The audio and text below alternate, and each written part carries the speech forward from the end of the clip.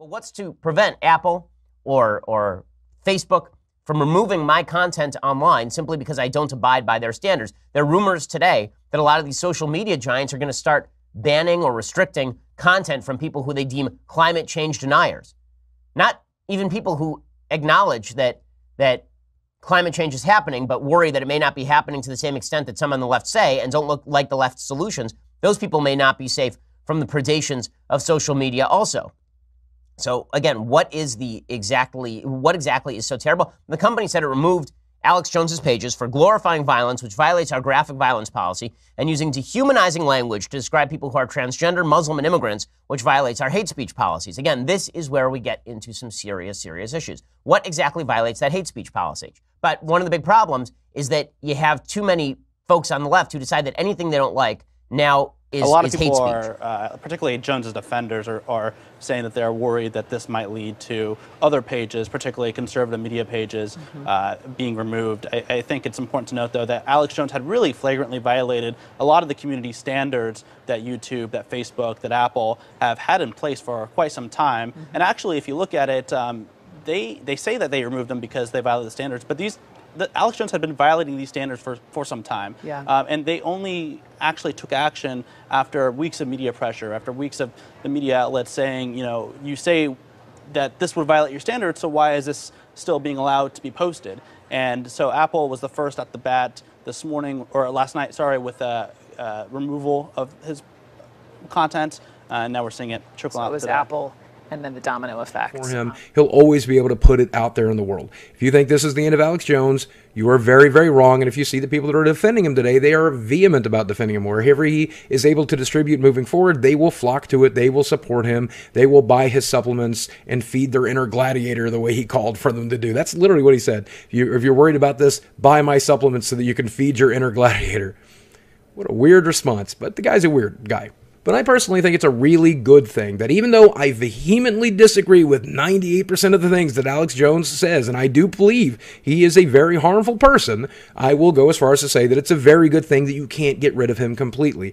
That's the point of the internet. That's the point of a free and open internet. That's the point of net neutrality. You know, if we got rid of net neutrality, then it's the ISPs who could choose to ban him next. Comcast could refuse to serve his videos or, or his website to you at all. AT&T, Verizon, and so on and so forth. Fortunately, they probably won't do that right now because they're still up in the air about net neutrality, so they're probably not going to shut them down just yet. Disservice to it. However, I think InfoWars is the canary in the coal mine. And as much as, again, I can say it a million times, I'm not really a fan of I don't like what InfoWars does. I don't like what Alex Jones does.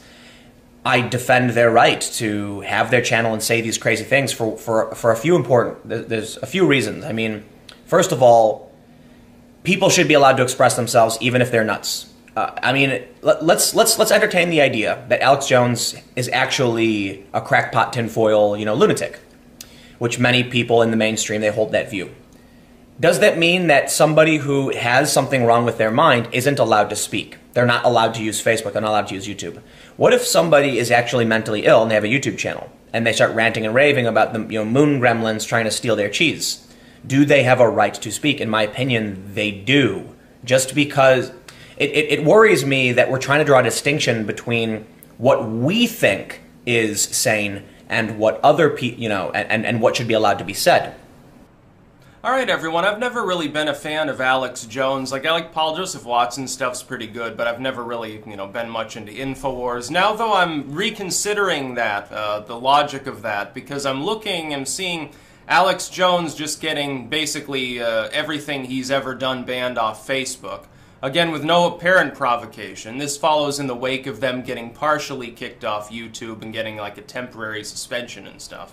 They can't live stream, have to have a second channel. Uh, Spotify has banned all of their podcasts, and now uh, InfoWars is also off of Apple's uh, product.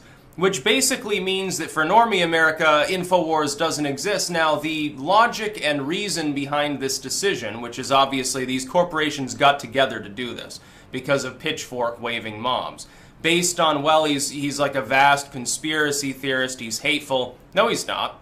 Can, can you show me anything on these shows that you've banned that's act, that actually rise? Is it criminal? It's not illegal, what he's saying. As far as I know, he doesn't sit there using slurs. In fact, for the most part, he, he keeps the swearing to a PG 13 level. I'm, I'm looking at these. There's like Sarah Jeong can be can be there and literally like ramble about uh, racial racial things all day. She's never going to get kicked off any platform. Everyone can talk to her. No one, no boycotting of advertisers. Alex Jones like says, "Oh, reptiles from space are going to get your mind or something," and everyone flips out. Alex Jones has been there since day one. It's like back in the Zeitgeist era, people are watching Infowars, dude. vague reasons. They say harassment, glorifying violence, dehumanizing language, but they almost never point to specific videos or a specific post. Now, most likely, part of their specific reasoning here is when you when you point to specifics, you create definitive lines in the sand, and so if you have a bad actor that's trying to abuse your system, they kind of know where to take it to the line and still get across what they want to get across. But at the same time, it would be nice to know what the rules are so you know if you are breaking them or not. And so when you say something like hate speech towards Muslims or transgender people, what specifically did they say and what do you deem as a company hate speech? Are you talking about slurs? Are you talking about people that have the opinion that a, a transgender person that there's something mentally wrong with them? As a company, are you seeing that as an opinion or are you seeing that as hate speech? Do you consider it hate speech if someone calls, let's say, a trans man a woman, right? They misgender, maybe it's on purpose, maybe it's on accident. And so the thing is, when these companies do not cite these specifics and they just read policy, it feels like they are setting up a system that can be easily abused. And while obviously we're talking about Alex Jones and InfoWars, which is an outlier, an extreme organization comparatively once again my opinion i feel it's understandable why there is fear and concern now understand when i say that i'm not equating all conservative outlets to infowars but many conservative outlets do feel like they are being suppressed by a lot of these companies and so it's that last Facebook, Spotify, and YouTube all completely banned InfoWars within 12 hours of each other, clearly suggesting big tech collusion and proving their terms of service are all bullshit. This is political censorship. This is the purge. Facebook cited language used to describe Muslims, transgenders, and immigrants. They provided zero specific examples as to what we said that was verboten, and neither did Apple, Spotify, or YouTube. But they're private companies. They can ban who they like. No, Facebook, Twitter, and Google have monopolized free speech online. They're a monopoly. They're also working directly with institutions of media. CNN whines all day about Trump threatening press freedoms, while simultaneously lobbying to have its competitors shut down by big tech. America's free press supports censorship. Big tech is colluding with leftist lawmakers on Capitol Hill. So if you yesterday uh, were looking for Alex Jones, you may have found him. Today, you're not going to find him.